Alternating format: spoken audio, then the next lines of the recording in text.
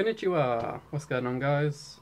This is day three of me trying to learn Japanese.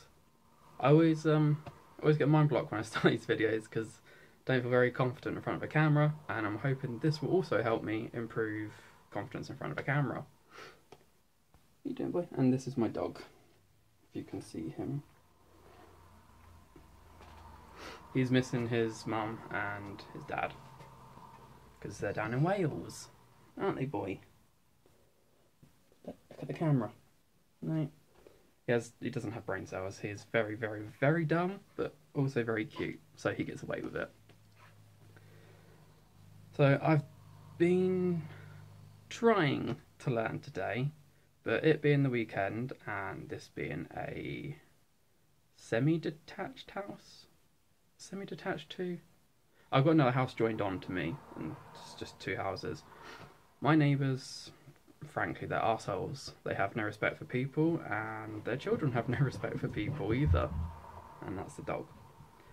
So they're very, very noisy when they're out, generally only on weekends and when they're back from school. But the child's room is direct. Well, they have three children. One of their rooms, obviously, is directly attached to my room. It being a council house, it is very, very thin walls, and you can hear everything. You can hear crying, you can hear talking, you can hear playing, you can hear. Well, also you can hear stomping, because and bangs on the wall. For some reason, their children seem to just like tap on the wall just to piss me off. So it makes it very, very hard to just sit down and focus on learning what you want to learn. So if you have a situation like this, then just try to chill out, deep breaths, go find somewhere quieter in your house if you can, like this room. Obviously, my room's there. This room's the other end of the house because there's the window that gives me light, so I'm not completely dark on these picture on these videos. So that's my mum's sewing room, by the way, in case you're wondering. So I might go in there a bit later just to get away from some of the noise, or just put some headphones in some. What is the dog doing? He's making noises. okay, so yeah, um, I'm going to try find a different way to study today, and I keep wanting to look at the camera, at the actual screen. I don't know if he's trapped himself. Hold on. You no, you've not trapped yourself, have you, dog? No, good, okay. Stupid animal. So yeah, I might go a different room or just put some headphones in with uh, some white noise music or something like that, just to just to distract or just to black out, black out, block out the background noise from my neighbours because they have no respect. That's what I also want to say.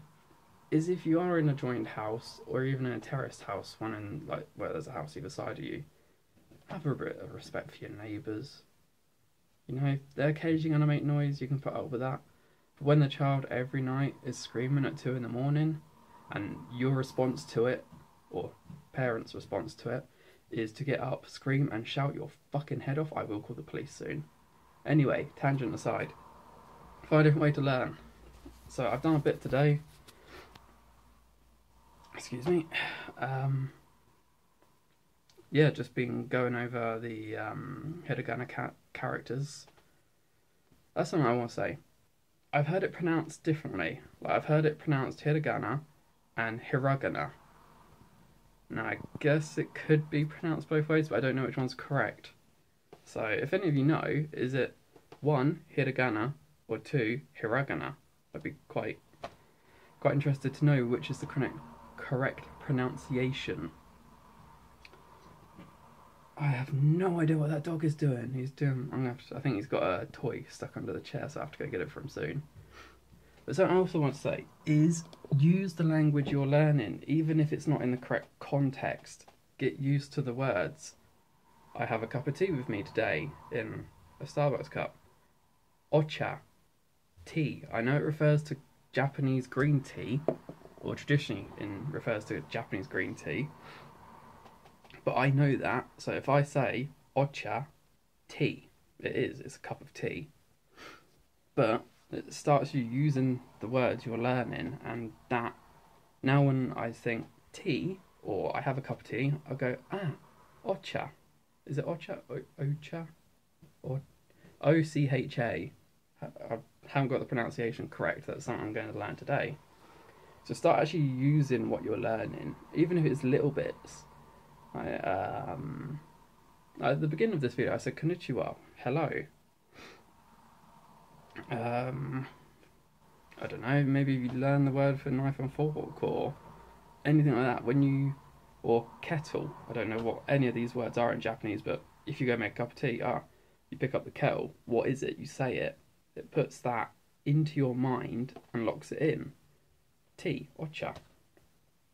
So it just gets, it's a bit like the flashcard principle. Like you look at the character, say it quickly, turn it over if you're correct. See if you're correct. It's a bit like that. It locks it into memory. It's like um, when you're learning the characters as well.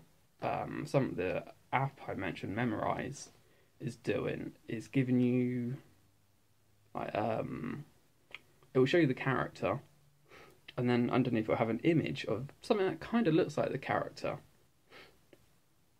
So one of them, um, what was it To, T O, is like a little. I guess that's the wrong way around on on the camera. On paper, anyway, it'd be there's like a little um, bit there and then there, To, and it looks like a toe with a thorn in it. You think toe, to, toe, kind of the similar. Um, there's lo- there's loads of them, but if you can find ones that help you better, then use them, even if they sound stupid. Like um, there's one of them for uh, a nun, or it was um, oh, I only learned them today, so they're not stuck in my memory. Probably, I think it was na, n a. Um, is it na? I'm pretty sure. One, something like that, but it's uh, nun. Yeah, because it said naughty nun. Was it no? Nah. Hmm. I think it's nah. But the characters, if you sort of drew like a nun praying and a cross, it looks like the character nah. I think it's nah. And that will hopefully eventually get stuck in my mind. I might come up with something better, something more that I can remember. But these are actually really, really good. And uh, I get distracted by watching the traffic out the window because you get bored in the fens. You mainly see a lot of tractors, farm vehicles. Because I live out of the city, I'm like um, in a little rural area. It was, no, rural's built up, isn't it?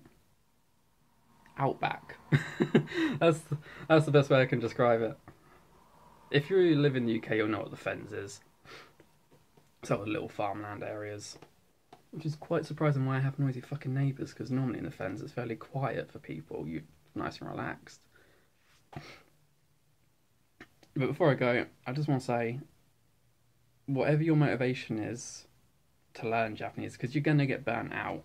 I kind of felt it this morning because you sometimes feel like you're for like you're forcing yourself to learn. Don't don't force yourself to learn. If you want to learn, you're going to learn. I look really tired. I am really tired. I don't sleep well, but yeah, if you if you want to learn, you will learn. If you make it enjoyable, you know, have fun whilst you're learning, whether that's music related, like you get a audio CD CD that helps you, or you get up and do some crazy movement for one of the characters because it looks like a man doing karate, you know, and as you do it, you shout the character. That will get stuck in your mind. So have fun whilst you're learning, and uh, yeah, use use what you're learning as well. I'm going to start doing that more. I, I woke up today. I was like, hmm. I learned what ocha was yesterday, so I was like, well, I might as well use it all today. Like, because I drink any British, any good British person, you drink tea non-stop. So that is pretty. I don't even drink. Well, I know water goes in tea, but you know, just plain water. I just have tea all day or ocha. Again, I know it's the wrong context or wrong type of tea, but it gets you using using what you're learning. So yeah, that's going to be day three or san. San is three. Ichi ni san. Yeah, san. So that'd be three. So yeah, use it and have fun. And I will see you tomorrow. Providing I haven't slept in because I'm very tired. Anyway, sayonara.